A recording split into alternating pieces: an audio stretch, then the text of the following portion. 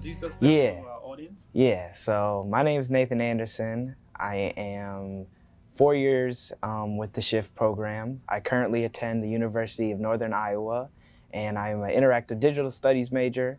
Um, yeah, I'm from the Waterloo area, so that's a little background on me. Went to West High, so shout out Wahawks. Any Wahawks out there? what really led you to uh, get involved into the program at Shift? At 12 years old, I was making skits. Um, so I always had like some sort of camera in front of me. Back then, I was using just an iPod and just recording just from the iPod and just recording funny skits with my friends. But I got into more of the editing with it too, and I was like, okay, creating the video, this is fun.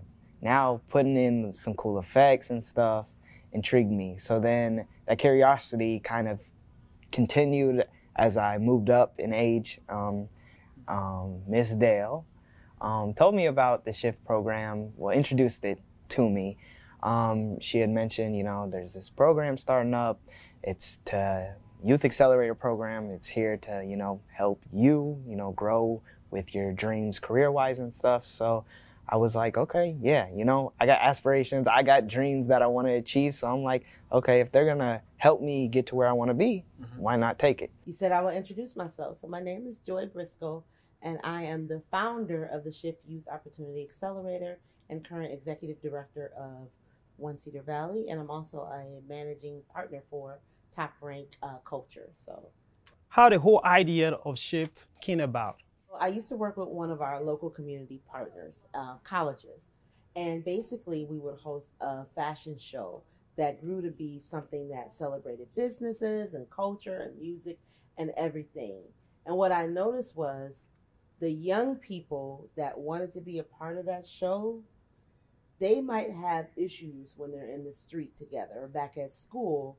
But when it came to wanting to work with us and what we were doing, they would get along. And so I was like, okay, I can't have that type of engagement with young people and not give them something that they need. When you came out with this idea, uh, tell me how welcoming was it? Like people in Waterloo, how do they really welcome the idea? People thought it was a good idea.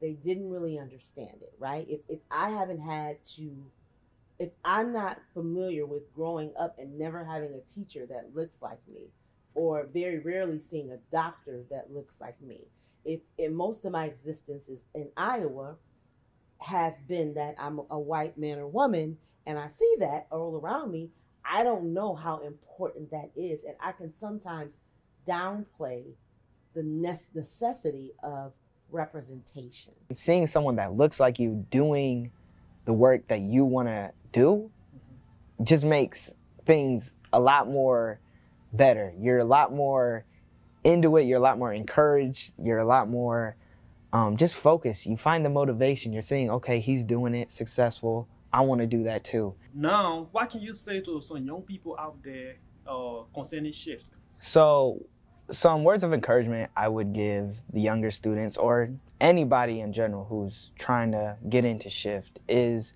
shift is a great opportunity for you to grow.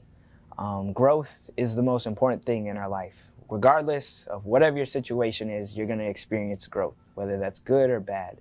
But at shift, it's going to be more career focused, but that growth expands more than just a career.